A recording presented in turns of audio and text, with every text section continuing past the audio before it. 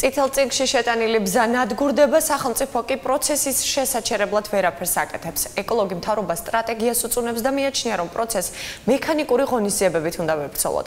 სულხან მესხიძე გაგაცნობთ, რა მდგომარეობაში აჭარის ტყეებში არსებული ბზა და როგორ აფასებს ფაქტს აჭარის გარემოს დაცვისა და ბუნებრივი რესურსების სამართალო. სოფელ მირვეთში ერთდროს ულამაზესი ბუნება დღეს ასე გამოიყურება. კოლხური ბზის ხეები დღითიდღე ნადგურდება, გამხმარი ტოტები კი ხავსით არის დაფარული. პრობლემა რომ მასშტაბურია, ამაზე სოფელში მცხოვრებლებიც საუბრობენ, თუმცა უნიკალური მცენარეების შენარჩუნებისთვის ვერაფერს აკეთებენ. ძამწვანე იყო. სინამაზე და ეს მე ვიდა რა ვიცი ავატყოფა შეუჩდა რაღაცა და 2 წელიწადში გახმა. წინადღით ვიყავი ახლა ერთი ერთი კვირის უკვე.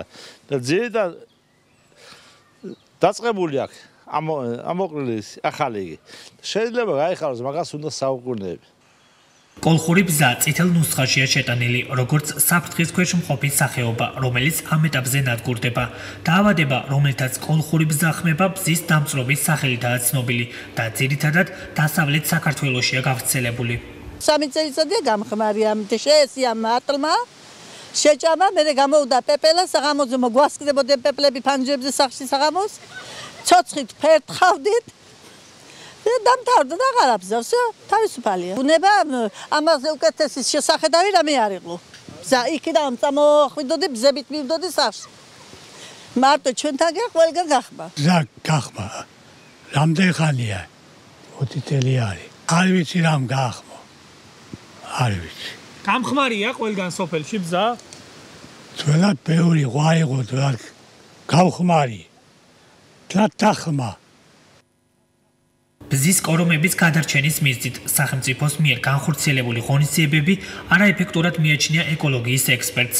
კახაბერ გუჩმაინძის თქმით სოკოვანი დაავადება რომელიც ბზის ყლორტების ხმობასა და ფოთოლცვენას იწვევს მექანიკური დამუშავების სახით მკურნალობას ითხოვს.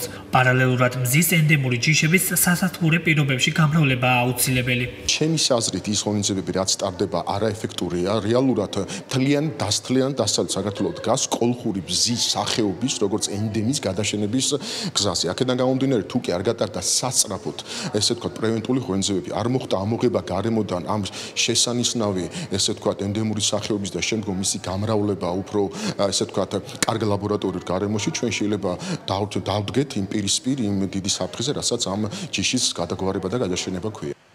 აჭარის სატყეო სააგენტოში აღნიშნეს, რომ მეცნიერულად უნდა დადგინდეს მავნებელთან საბრძოლველად რა არის საჭირო. ამ გარემოების გათვალისწინებით სააგენტოს ამ დრომდე არ გააჩნია კონკრეტული სტრატეგია, რითაც პროცესი ნაწილობრივ შეჩერდება. უკვე გამხმარ მცენარეებს იმის გამოართხნიან, რომ მათი გადარჩენის ალბათობა არსებობს. ტყის მავნებელ დაავადებათა წინააღმდეგ ბრძოლის სამსახურის უფროსის თქმით, ზოგიერთ შემთხვევაში გამხმარი ბზის ფესვთა სისტემა ჯანსაღია. არანაირი ამე საშუალება ბრძოლის ღონისძიებისა არ არსებობს.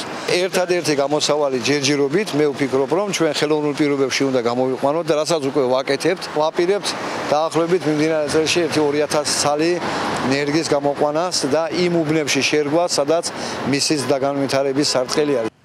დღეისათვის აჭარაში ბზა 115 ჰექტარზეა გაშენებული, მათ შორის 90 ჰექტარი დაცულ ტერიტორიას მიეკუთვნება. სოკოვანი დაავადების გარდა ბზის გადაშენებას უკონტროლო ჭრაც იწვევს.